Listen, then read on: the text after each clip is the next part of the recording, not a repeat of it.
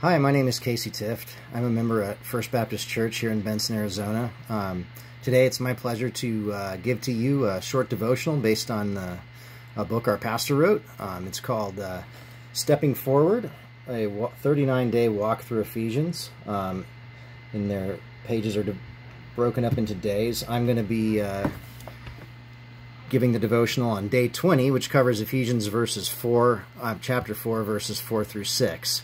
And uh, the title of that section is The Reason for Unity in the Church. Um, so first I'll read the scripture, uh, Ephesians 4, 4 through 6.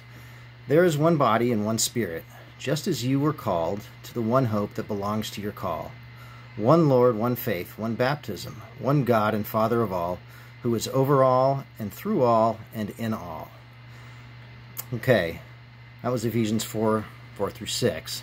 Um, so, why is Paul giving uh, these reasons for unity in the church? Well, he wrote this particular letter to the church in Ephesus, and uh, he was encouraging the Christians there to, uh, to well, verse four, three, chapter four, verse three says it all, uh, and in one as well. Ephesians four one says, "I, Paul, urge you to walk in a manner worthy of the calling to which you have been called."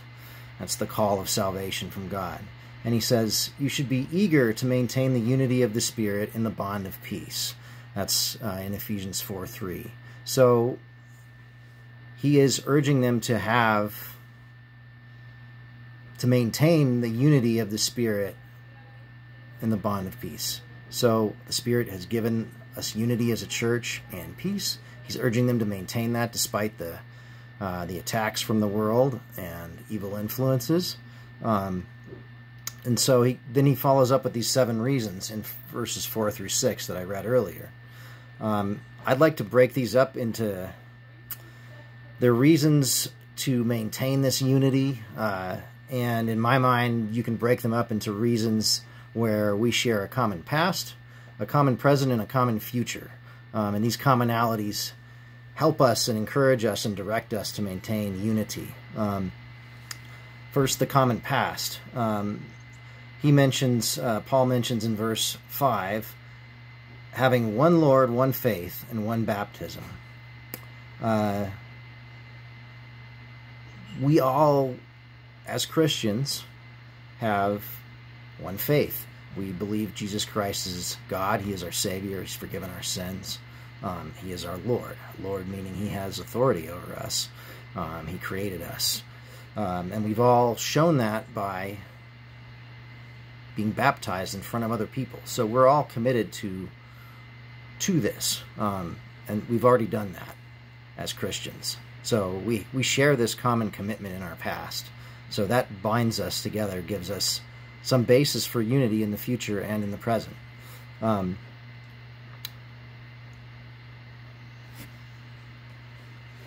we have all committed to serve the same God who is almighty and he's consistent and truthful. We all believe that. Um, in the scripture in Numbers uh, chapter 23, verses 19, uh, it says, God is not man that he should lie, or a son of man that he should change his mind. And so we hold that our one Lord, our one faith, was to a God who's consistent and doesn't lie. So he would give us that consistency and commonality in our past. Um, let's see here. In Mike's book, he mentions seventh reason for unity is that there is one God and Father. There should be a natural unity within the church because we all share one God and Father who is in us and over us. He is our Heavenly Father and we are His adopted children.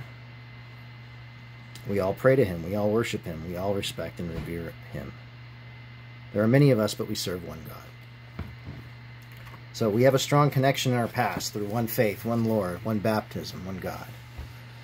In our present, that leads us to where we are now. Um, we were baptized and we believe these things. We're now part of a church body. Uh, in Scripture, the church is referred to as Christ's body. He is referred to as the head. Um, now, in the Greek, uh, the word body in these verses is the word soma, and it can mean a physical body, like a person's body or an animal's body. It could also mean a close group of people, um, that share a lot of commonality. Um, it's interesting that the Bible uses a lot of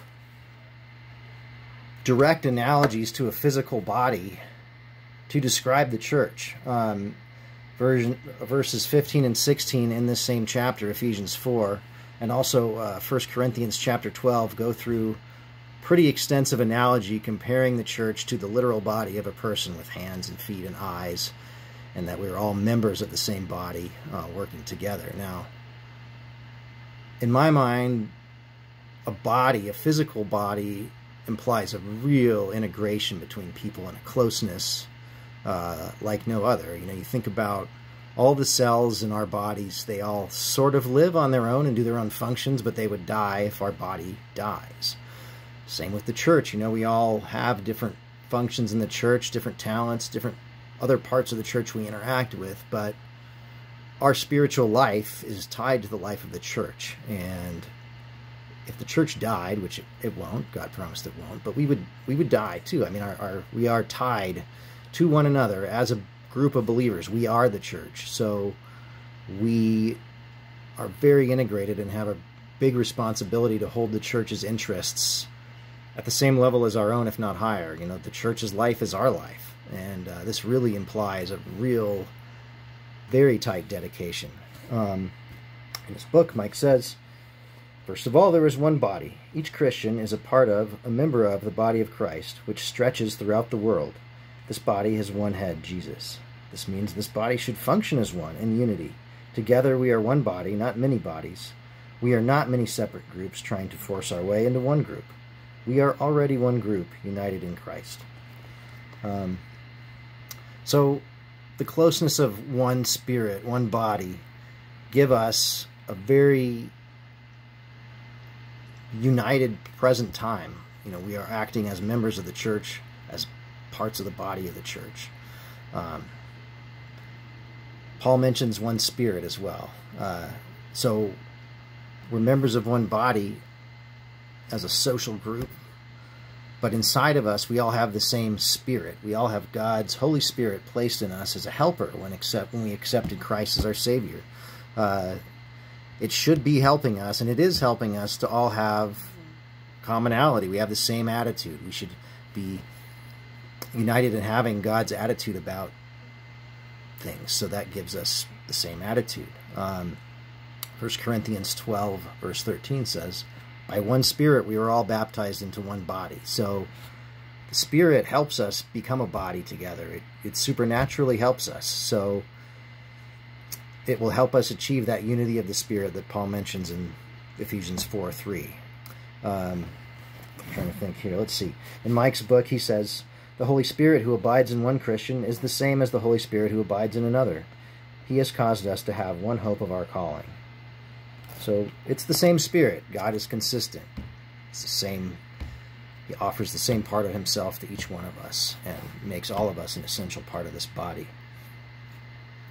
So often at church, you know, I think about just things that occur and I, I think, you know, how else could a bunch of amateur volunteers from many walks of life come together and serve in love and sanctify each other despite our sinful nature, get things done, uh, have a good time and grow. How could we all do that unless we were supernaturally, spiritually committed to be together?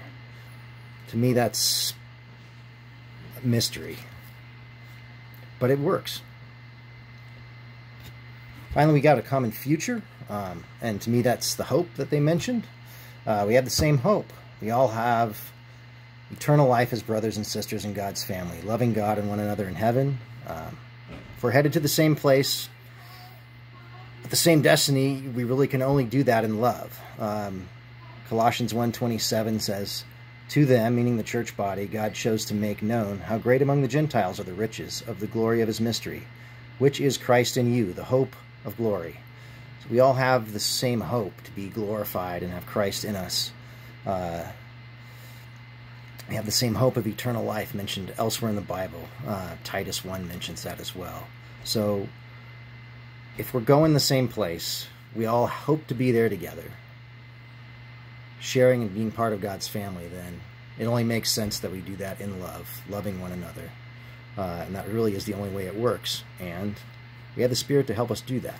So, God's given us a lot and a lot of call towards unity. He's equipped us to, to be united. We have a lot of challenges to that, but we've been equipped to do it. So, I hope this has all encouraged you and uh, have a great day.